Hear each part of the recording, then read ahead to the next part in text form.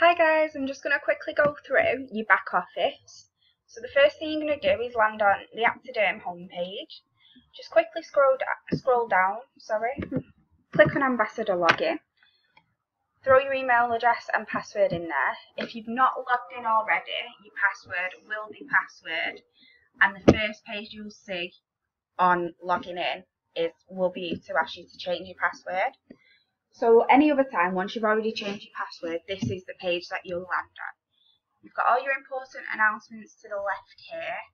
Please check those regularly. They are really important to your business. You need, anything that's on there, you need to know. You've also on this front page got your sales chart for the full month. You've got your calendar, and if you scroll down, you've got a list of your recruits.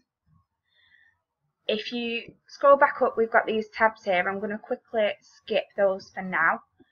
If we go on to calendar, this will show any parties that you've got booked in. If it's purple, it means there's been nothing put through on it. If it's red, it means it's been cancelled. And if it's been green, if it's green, then it means the order's been put through. It's all finalised. So to add a party, you just need to put all the details into here. If it's a bulk order that you're placing, over £100, you will also need to make it look like you're doing a party, but just put your details into there and put the time and date as when you want to put that order through. If you go on to resources, there's loads here. You come back and your announcements are there again. You go on to training. This is all your product training please, please, please, when you first join, try and make your way through these videos. It's so important to know your products. And it also helps you get to grips with navigating your way around this site. So if you go on to site training, there's a few tutorials on there. The party order tutorial is here. So I would watch that as well, purely because party orders which, like I say, are orders over a £100, they can be a little bit more complicated until you get the hang of it. This part is the part that I've found most helpful. This, these videos here are an actual pamper party broken down into the different parts. This one at the bottom is a full party it's about an hour long, but I think I watched it about a hundred times before I actually did my first party. Going on to downloads, you've got loads of really helpful stuff here that you can have a look at. You've got like your makeup colours, which are also in the back of your catalogues, and I would recommend getting some of those if you didn't get them in your kit. You've also got more images here that you can use, and that one at the minute is empty you go on support, you've also got tutorials and things like that there. If you click on my details, which I would recommend to be the first thing you do when you log in, you've got all your details there. Please double and triple check that your, your bank details are correct. Otherwise, we get loads of people in diamonds every Friday saying, I've not been paid. And if your bank details are incorrect, then we we've got nowhere to pay it to. This will also show if you have any ActiCash. So if you're struggling to find your ActiCash, that is under my details. ActiCash you can spend on anything in our shop. You can also use it towards delivery. Um, so you get £10 ActiCash if you make more than £100 in sales between the 1st and the 9th of the month. You also get £25 if you hit diamond, which is £500 in sales. And it does go up from there, but I'm not going to go through that too much. If you click data, this is exactly how it will look before the 10th of the month. It'll just be your team's names.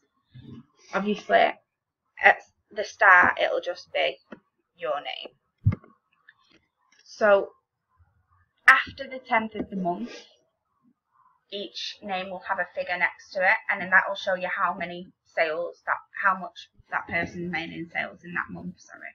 If you click into that it allows you to look at your team your sale your own sales sorry from the last week. You can also change the dates there. So for example if I wanted to look at my sales for the whole of October I click on the bottom, we're going to put the 1st of October. On the top, we're going to put the 31st. So the date furthest back goes in the bottom and the closest date to you goes in the top. And just click get to from data. So that'll show me my whole sales from the end of the month for the full month. If I go back down to there, it shows a breakdown of those sales. I can also at that point click on my team sales and I can do the same for that. So that's my team sales for the past week. I can do the same there. I can click on and go for the full month or for any date that I want to look at. It does sometimes take a little bit longer just because it's got more information together. So that's my team sales for the past month. Going back to your orders section, you've got your last 100 orders that show in this sidebar here. Have a read through these because it's really important. It shows you how long your orders take, things like that. You also need to get to know your delivery charges.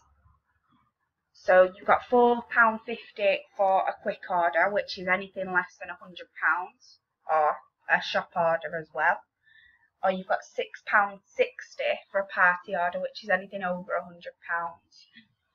So you can break this 100 orders down. You can make it just show shop orders, just show quick orders, and just show party orders.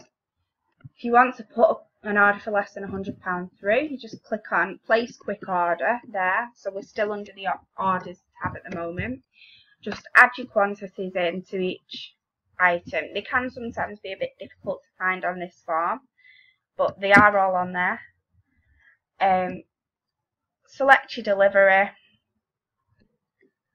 and click on submit and just go through that form. On the very last page, it will either say your order has been successful or your order has been unsuccessful. If it says your order has been successful, you will have another proceed button click on that, otherwise your order will not go through. Don't just click out of it at that point. Same for party orders. If it gives you the option to click proceed or submit, make sure you do, otherwise you might lose the order. Okay, so your My Shop tab, if we click onto that, that'll actually bring you onto your site. So you'll notice here, it actually will say your name. This is the link you need to be sending customers that are going to order through your shop. Make sure before you send that link that it works and it sends them to the right place. Okay, so I'm not really going to go through much more on that. If you've got any more questions, then either give me a message or give your upline a message. Other than that, thanks.